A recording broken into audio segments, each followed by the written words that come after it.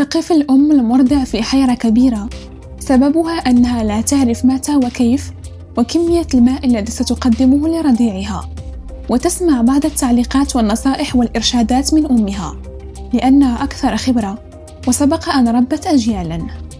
في الشهور الأولى التي تكون فيها تغذية الطفل هي الحليب فقط سواء حليب الثدي أو الحليب الصناعي يكون هذا كافيا لحماية الطفل من الجفاف وتزويده بالسوائل المناسبة. ونوه خبراء إلى أن إعطاء الماء للرضيع حديث الولادة.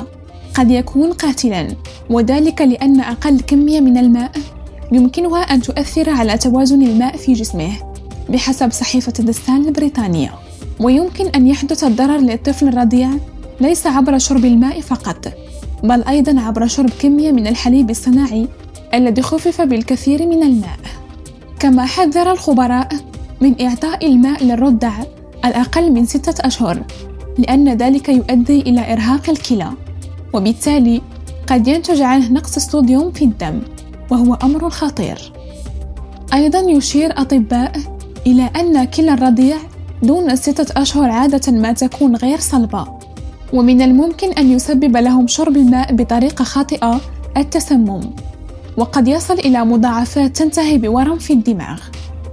وبحسب الدراسة فإن إعطاء الماء للرضيع يحول دون حصوله على الغذاء الكافي لذا يوصي الخبراء بالاعتماد على الرضاعة الطبيعية أو الأغذية البديلة للحليب.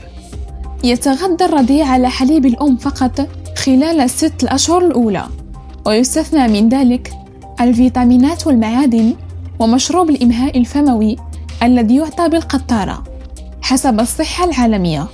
فيما أن أي مشروبات مثل عصير الفاكهة لا تعطى للطفل دون سن 12 شهرا بينما لا ينصح بإعطائه الكافيين مثل القهوة والشاي في أي عمر. وعن كمية الماء التي تقدم للطفل بعد سن ستة أشهر ترى منظمة الصحة العالمية أن ذلك يخضع لعدة شروط. وعلى العموم فيمكن تقديم من 118 إلى 177 مليلترا من الماء يوميا. من سن سبعة أشهر حتى العام.